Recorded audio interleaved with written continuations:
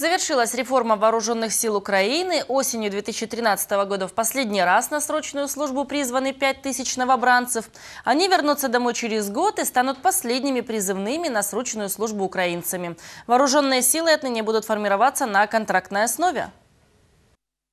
Теперь армия будет принимать только добровольцев с подходящим здоровьем. В 2014 году контракт подпишут с 7 тисячами человек. Державна програма передбачає оптимізацію чисельності, е, доведення чисельності Збройних сил України на кінець 2017 року до 122 тисяч військовослужбовців.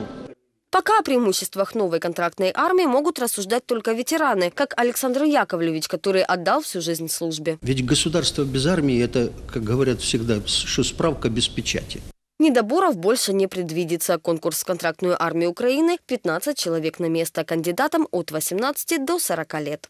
Когда ребята шли на срочную службу, их провожали всем селом, всем двором. И они возвращались уже состоявшимися мужчинами. Контрактная армия – это еще и стабильная зарплата, социальные гарантии, качественное медицинское обслуживание. Эти преимущества оценили 60% нынешних военных.